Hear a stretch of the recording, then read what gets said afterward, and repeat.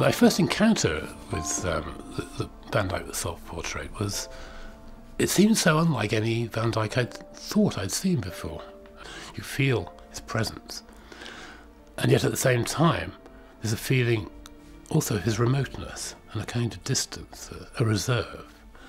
He's stretching backwards and upwards to look into the into the, the mirror. And and then you know that as soon as he returns to painting, he's going to disappear completely from sight. And I think it's that momentariness in that pose, that sort of stretch, that turn, that creates this feeling of the precarious presence and absence of the figure.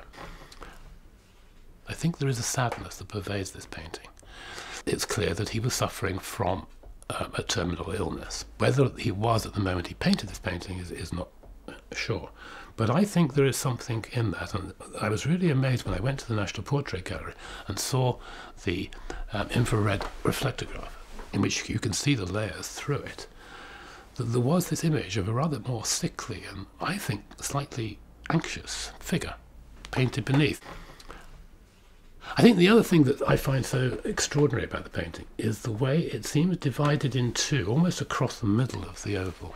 The bottom part is rendered in very free strokes of paint, impasto strokes, indicating the, the active arm of his painting arm, looking over the shoulder this way. But the, the, the face has got that perfection, almost of a photographic image, that you're aware that the body occupies one space and the head occupies another. It is a disjunctive, almost schizophrenic feeling about the whole thing. And in that way, I think he emphasizes something about the nature of metamorphosis, the way that paint becomes face, persona, that transformation, which is what painting is all about, and portraiture is all about. Turning does seem to imply metamorphosis as well. I wanted to look at that particular gesture. I, I wondered where it might have come from. And of course, the very earliest self portrait of Van Dyck, the only other self portrait of Van Dyck that was just a, a simple head and shoulders image, is his very early self portrait at the age of 14.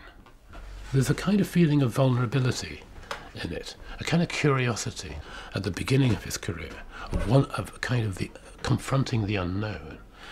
In this is another kind of confrontation of the unknown, but it's one in which he's, he seems more self-possessed, but there's equally the same vulnerable glance, and it's something to do with that occupation of this in-between space.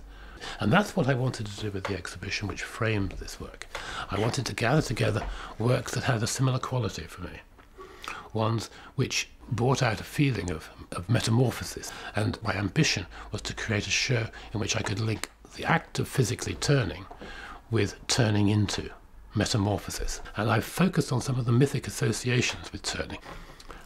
There's the Orpheus myth, in which Orpheus is told, having been granted permission to enter the underworld and bring Eurydice out into the light of day, is told not to turn, but of course he's impatient, he does. He turns, and he loses her a second time into the underworld and death.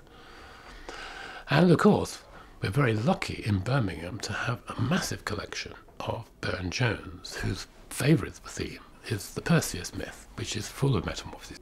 Perseus would be turned to stone by directly looking at Medusa.